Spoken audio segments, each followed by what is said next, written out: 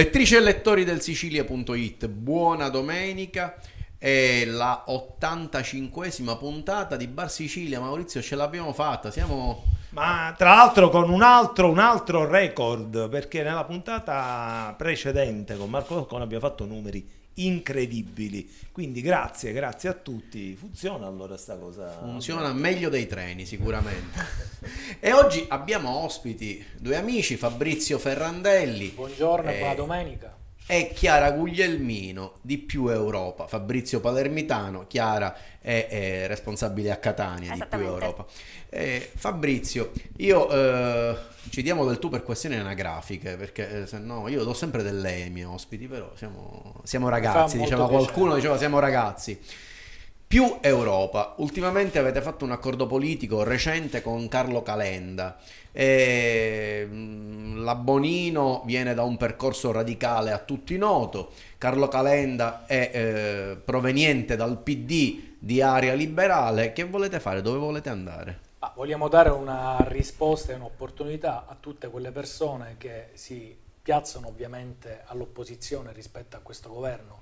È chiaro che diciamo, questo governo Conte bis per quanto ci riguarda è un'oscenità e ha semplicemente cambiato la maggioranza all'interno ma rimane lo stesso nella sostanza. E quindi stiamo riunendo intorno a noi tutte quelle forze che non sono sovraniste e che vogliono un'alternativa possibile. Lo stiamo facendo con Calenda, stiamo discutendo con altre realtà territoriali, lo facciamo anche con i Verdi italiani, quindi riteniamo che all'interno della politica italiana chi voglia dire no a questo inciucio chi non si sente rappresentato dalla Lega e da Fratelli d'Italia può trovare in un accordo liberal-democratico una possibilità di rappresentanza. Lo stiamo facendo senza riciclare, eh, spesso in politica è facile prendere ceto politico, è quello che sta accadendo in altre formazioni politiche che stanno nascendo, cambiano l'etichetta, cambiano la casacca e trovano gruppi dirigenti, noi stiamo raccogliendo piano piano dal basso professionisti, eh, militanti, studenti, l'età media della nostra formazione è sotto i 40 anni e noi ci stiamo sintonizzati su un sincero pensiero europeista di chi pensa ad un'Europa politica, ma di chi vuole lavorare solamente sul territorio indipendentemente dagli immediati risultati elettorali.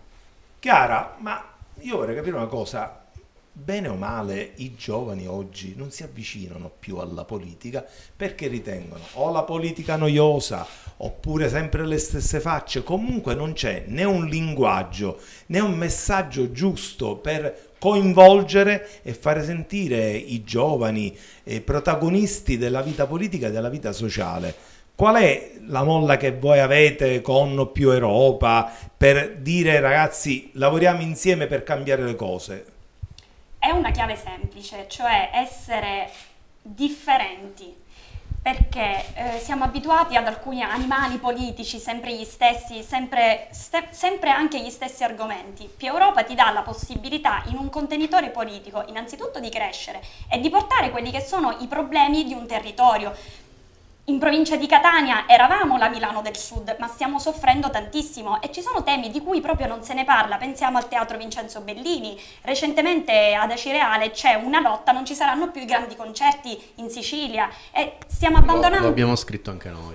Stanno abbandonando degli imprenditori, tre grandi imprenditori che hanno portato dei concerti in Sicilia in modo tale che tu non devi uscire dalla tua terra e questo vuol dire mancanza di turismo, opera, ci sono degli operai come elettricisti, fonici. Tutto questo viene a mancare in una provincia che invece era forte. Più Europa ti dà la possibilità soprattutto di dialogo, di parlare e di non parlare con le stesse persone. Io, Chiara, eh, volevo eh, soffermarmi su quello che aveva detto prima Fabrizio Ferrandelli a proposito di chi volete aggregare, quest'area liberale, quest'area democratica, all'opposizione di questo governo. Sembra un po' di sentire parlare Matteo Renzi o, o Silvio Berlusconi. C'è qualcosa che almeno nel, nei termini vi accomuna? Sinceramente no, noi siamo partiti da uno slogan, sfida la corrente, questo perché stiamo sfidando... Noi abbiamo chiuso le finestre per quello. Stiamo, C'è ancora qualche spiffa. Eh? Stiamo sfidando in una maniera semplice quella che era ritornare sui territori con chi fa il commercialista, il professionista, chi non è stato mai in politica o con chi è stato amministratore locale anche in piccole realtà. Chi è stato un amministratore in una piccola realtà sa come si amministra, sa quali sono i problemi, ha anche un modo di approcciarsi alle persone in maniera diversa, perché è questo che manca, l'approcciarsi di nuovo al piccolo cittadino che ha un anche un semplice problema, quello dei rifiuti, la raccolta differenziata, eh, le strade che hanno dei problemi. Stiamo ritornando a fare politica sui territori mettendoci quello che sono le nostre competenze. Però Fabrizio, i territori eh, abbandonati sono. Sembrerebbe, mh, mm, io parlo eh, per Palermo perché eh, tu vivi a Palermo come me, ma non mi sembra che nelle altre città si rida tanto e si possa essere felici. Ma qua a Palermo sembrerebbe che gli amministratori si svegliano la mattina e pensano oggi l'immondizia la raccogliamo così e non funziona, domani in un'altra maniera, poi un problema che magari con un po' di pioggia e invece della macchina prendiamo la canoa per camminare in città. Sembra che non ci siano soluzioni, sembra che chi amministra oggi la città capoluogo della Sicilia non abbia minimamente idea di un programma per portare a termine le cose. Non è una questione politica, è una questione di risultati. I risultati oggi sono pessimi. Voi siete altri, eh, se mi permetti il termine, chiacchieroni o avete un progetto per questa città vero? Ma devo dire, su questa città il progetto c'è ed è un progetto per quanto mi riguarda antico, quindi più Europa gioca una partita più facile perché essendo stato candidato sindaco ho la risposta progettuale ai tanti problemi di questa città. Tu dicevi si svegliano la mattina, io a volte credo che si svegliano il pomeriggio, anche un po' più tardi e sono in ritardo rispetto ai problemi della città. Poi abbiamo un sindaco, e mi riallaccio a quello che diceva Chiara, che nel bene o nel male, anche nelle, nei dati positivi che ha portato a questa città, comunque è sempre lo stesso sindaco dal 1985 e quindi quando tu ad una società cambiata, ad una velocità diversa, dai le stesse risposte da 30 anni, è chiaro che sei fuori di tempo e sei probabilmente non allineato a quelle che sono le esigenze, ma anche alla visione. Orlando ha una visione statalista, quasi sovietica della macchina pubblica, per cui sono le aziende controllate anche dai carrozzoni che non stanno sul mercato, non hanno servizi, non sono efficientate, perché serve anche dare lavoro e occupazione io ho un modello di gestione diverso, immagino che i servizi vadano gestiti con efficienza, con efficacia e che il privato non è, per, non è sinonimo di malaffare, ma anzi può essere un'opportunità per dare servizi al minor costo possibile, mantenendo nelle mani del pubblico invece il controllo e quindi le sanzioni. Ed in generale quello che stiamo vedendo in tutta la Sicilia, lo diceva Chiara, noi stiamo aggregando soprattutto amministratori che per quanto ci riguarda sono di prima fascia, ma sono considerati di seconda fascia, sono sindaci, consiglieri comunali, assessori delle piccole realtà, non vogliamo muoverci raccogliendo deputati nazionali o deputati regionali come fa Renzi, ed è qui anche la grande differenza, ma vogliamo che chi viene dal basso a rapportare le esigenze di un territorio e che magari le ha sperimentate in realtà locali possa emergere e possa essere un nuovo quadro dirigente, perché se non cambiamo i quadri dirigenti, la nostra è una sfida innanzitutto generazionale, non abbiamo cambiato nulla. Poi la differenza rispetto a Renzi sta che lui è il primo sostenitore del governo, il governo nazionale nasce su un accordo Renzi-Grillo e quindi lui ce l'ha dentro. Noi stiamo raccogliendo chi sta fuori e chi rispetto a questo governo ha grandi perplessità. A proposito di Palermo, eh, Fabrizio, eh, ti sei candidato due volte a sindaco di Palermo e non ce l'hai fatta. La domanda spontanea è cosa vuole fare da grande Fabrizio Ferrandelli e questa, questo post Orlando, con chi volete costruirlo? Non mi dite con i cittadini perché è ovvio, i cittadini devono costruire il progetto, però dico, questo centrosinistra a Palermo eh, è ostaggio di, da sempre di Leoluca Orlando, nel senso che quando verrà meno il nome Leoluca Orlando probabilmente evaporerà come sempre è avvenuto quando non si è candidato il centrosinistra e quindi più Europa a Palermo con chi lo costruisce questo posto Orlando? Con il centrodestra? Potrebbe essere anche questa una novità. Noi sicuramente siamo in campo, stiamo costruendo e io devo dire sono contento di aver dato due volte l'opportunità a questa città di avere un cambio generazionale. Io credo che se Orlando non avesse avuto in questi anni anche un'opposizione, la città sarebbe stata differente e diversa. Poi ognuno ha ciò non che si merita, ciò che vota, per cui la città lo ha votato, c'è rispetto all'elettorato e, e credo che come te che però Orlando non lascerà un futuro, c'è chi dice che Orlando sta pensando alla continuità, al futuro, Orlando non gestirà mai la continuità amministrativa di questa città, uno perché la sta sfasciando così tanto nei conti che non si vorrà prendere la paternità tramite un suo uomo del disastro che ci sarà da gestire dopo, due perché è nella natura dell'individuo, è una prima donna, è un accentratore, è un monarca, non è un, un democratico che pensa a costruire una squadra, una rete e la mia battaglia è stata innanzitutto una battaglia anche interna in una prima candidatura e poi invece una fase molto più matura dopo. Di sicuro io già sono impegnato con i gruppi di Più Europa a costruire una lista per Palermo perché riteniamo di dover dare gruppo dirigente a questa città nelle forme che riteniamo.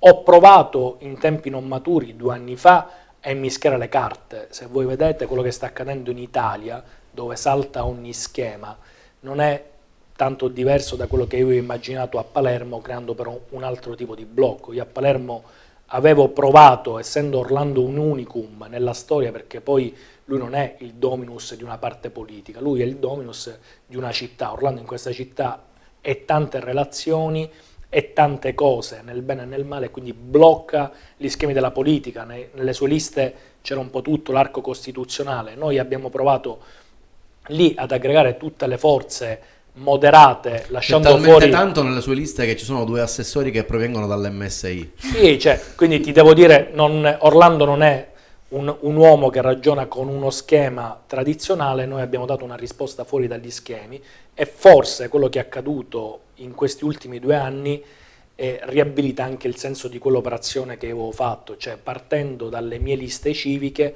aprire a tutto l'altro mondo liberal-democratico, che è quello che sta accadendo, lasciando fuori gli estremi, da una parte la Lega e Fratelli d'Italia e dall'altra parte la sinistra estrema per provare a dare una risposta alla città. Credo che questo schema sia ancora valido e più Europa sarà in campo e concorrerà a dare un sindaco, una guida a questa città a partire dalle forze liberal-democratiche, come facciamo in Italia, ma con una certezza, la grande discontinuità col passato, perché rispetto a questa gestione non si può essere continuativi, non si può essere che alternativi. Politicamente eh, Palermo, capiamo, insomma, un po' dorme, un po' dorme soltanto pensando all'eredità di Orlando, mentre Catania, Chiara, è vivace.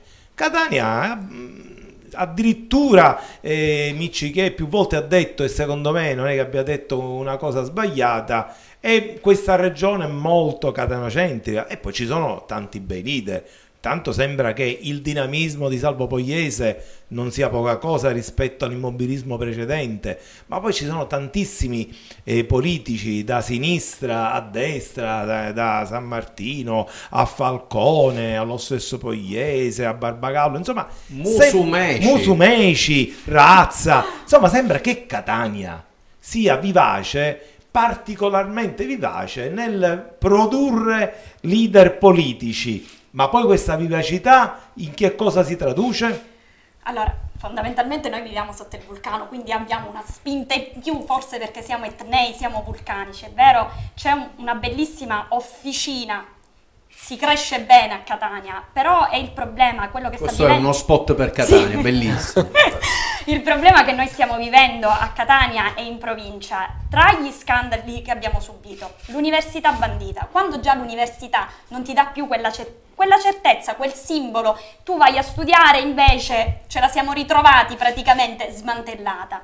Tutte quelle che erano le nostre realtà imprenditoriali sono quasi tutte in crisi, quando un imprenditore soffre ed è costretto ad abbassare la saracinesca e siamo tutti diciamo piedi piedi, questa non è una bella realtà, perché i nostri politici, è vero che c'è una bella officina, ma sono sempre gli stessi. Come mai da 30 anni non si sono resi conto di quello che stava vivendo il nostro territorio? Come mai gli imprenditori non sono stati aiutati in questi tavoli tecnici? Quindi è vero, siamo molto vivaci, però c'è una sofferenza che si sente e una città come la nostra, lasciata in quelle condizioni a luci spente, non è, una, non è, non è bello. Io ti vengo ad esempio da un territorio, da Zafferana Etnea, è un piccolo paese ma è vivo, produciamo il... Bellissimo. Dico sempre, produciamo il 17% del PIL nazionale del miele, ma siamo completamente abbandonati da un governo nazionale che se ne sta fregando. Il 26 dicembre abbiamo subito un terremoto, ma chi gliene importa? Cioè noi stiamo facendo una lotta con i lenzuoli bianchi, stiamo protestando, ma a chi importa? A nessuno. I nostri politici, è vero, che stanno facendo? Hanno, hanno, hanno, in questo momento un problema, cambiare la casacca e individuare qual è la forza giusta. Mi pare di capire, Chiara, che non sei molto tenera nei confronti dei tanti catanesi in politica, astri nascenti, che diceva Maurizio, eh, l'Ars è piena di, di, di conterranei tuoi che cresciuti all'ombra del vulcano, dell'Etna, della montagna, della montagna, della montagna come si dice da quelle parti, eppure a quanto capisco non c'è proprio grande si affinità. Ma eh, sul governo Musumeci invece come sta lavorando per voi nello Musumeci? Allora, eh... di Militello Val di Catania. Ma il governo Musumeci consideriamo sempre l'eredità che ha trovato. Non è facile. Il, gro- il governo Crocetta, eh, ahimè, ma, eh, ha sfasciato tante di quelle realtà che riprendere in mano la situazione. Salutiamo non è co- Saro, ciao Saro. Non è così facile. Io sinceramente non mi sento di dare un giudizio al governo Musumeci, ma non perché ha ereditato qualcosa veramente di, di bestiale secondo me ci vuole tempo e soprattutto ci vuole anche un cambio di mentalità di noi siciliani. Però Fabrizio, diciamoci la verità, andare a governare questa regione non è facile. Al di là delle varie eredità e sicuramente quella del governo Crocetta renziano sicuramente non è stata un'eredità facile.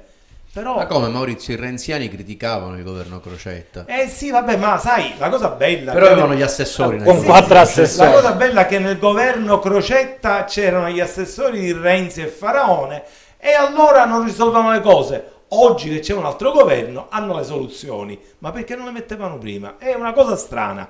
Però bisogna dirci anche una cosa, i vari governi nazionali della Sicilia, realmente, diciamo, al di là del colore politico, tutti, da destra e sinistra, se ne sono sempre fregati. Io nell'ultimo Bar Sicilia, molta gente ha detto che era contenta perché io ho detto io sono orgoglioso di essere siciliano. Non mi sembrava una cosa strana, io sono veramente orgoglioso di essere siciliano e con estrema serenità posso dire che è sotto gli occhi di tutti che da destra a sinistra i governi nazionali hanno sempre pensato la Sicilia più come un fastidio che come un'opportunità ma allora cosa bisogna fare? Bisogna credere in una nuova autonomia, in un nuovo statuto, perché nascono tutti questi movimenti? Oppure c'è qualche cosa che bisogna fare per uscire fuori e fare capire che qua c'è la seconda regione d'Italia che merita attenzione? A me piace molto questa domanda perché è posta ovviamente bene e soprattutto è prospettica. Innanzitutto apprezzo l'onestà intellettuale di Chiara, è vero, dare un giudizio su chi viene dopo lo puoi dare a, a partire da quello che c'è stato prima. Io mi sono addirittura dimesso da parlamentare regionale proprio in polemica col governo Crocetta e soprattutto nei confronti anche del Partito Democratico al quale ero iscritto, perché anche lì in quell'occasione c'era il governo nazionale dello stesso colore del governo regionale, il governo nazionale aveva imposto con area renziana degli assessori e quindi c'era una maggioranza, però per la Sicilia non soltanto non cambiava nulla, ai problemi non venivano date risposte e i siciliani erano sempre più abbandonati, motivo per il quale io ho ritenuto una volta che era stato tradito il programma e l'impegno che avevamo preso con i lettori, non potendolo portare avanti e non trovando la maggioranza per le dimissioni, quantomeno di revocare e rimettere il mio mandato. È pur vero che non esiste un gruppo dirigente siciliano in Italia che faccia valere le ragioni di una delle realtà più belle che noi abbiamo sul territorio e lo vediamo in che cosa? In infrastrutture, noi vediamo che tutte le finanziarie nazionali stanno destinando milioni di euro per il potenziamento delle strutture, ad esempio ferroviarie, centro-nord Italia e quindi gli investimenti vengono spostati lì i poli produttivi vengono spostati lì. Il compromesso che si è trovato prima era la cassa per il mezzogiorno per dare 4 lire a questi cafoni e non portare sviluppo, adesso il compromesso che si è trovato è quello di dare il reddito di cittadinanza al sud così da far poltrire ancora di più il nostro, il nostro tessuto cittadino e di spostare invece i grandi investimenti al nord.